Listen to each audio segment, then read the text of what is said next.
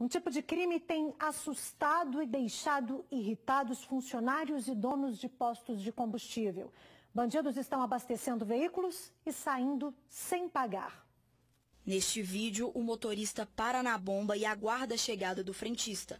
Um passageiro desce e parece conferir o porta-malas. O veículo é abastecido e assim que termina, o motorista arranca. Mais uma vez, as câmeras do posto registram a cena. O mesmo veículo volta a abastecer e sai do local sem pagar pelo combustível. Juraci é o frentista que aparece nas imagens correndo atrás do carro. O posto fica na marginal do anel rodoviário, no bairro Califórnia, região noroeste da capital. Aí ele chegou, um momento, jogou o carro do lado da bomba ali, enche para mim. Aí na hora que estava bem cheio, ele voltou e falou, enche bem, né? Pode encher bem. Aí na hora que fechou lá, que a gente deu a volta para pegar o dinheiro, ele arrancou o carro e saiu correndo.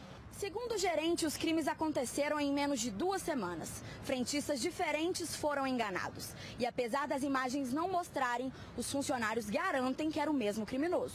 Dois frentistas passaram as mesmas características, era um rapaz moreno, de, de estatura não deu para notar, porque sentado dentro do carro ele não desceu do carro, né? É, de cabelo arrepiado, magro, mesmo veículo, veículo ponto prata, e a placa também bater, né? Então é, é o mesmo motorista sim. Apesar de já conhecer esse tipo de furto, foi a primeira vez que Juraci passou por essa situação. Aí a gente fica meio constrangido uma hora dessa, não tem como, né? Segundo a Polícia Militar, existem 10 ocorrências registradas com a placa do veículo na região metropolitana. A Polícia Civil informou que o proprietário do carro vai ser chamado para prestar depoimento. Os ladrões envolvidos no furto ainda não foram identificados.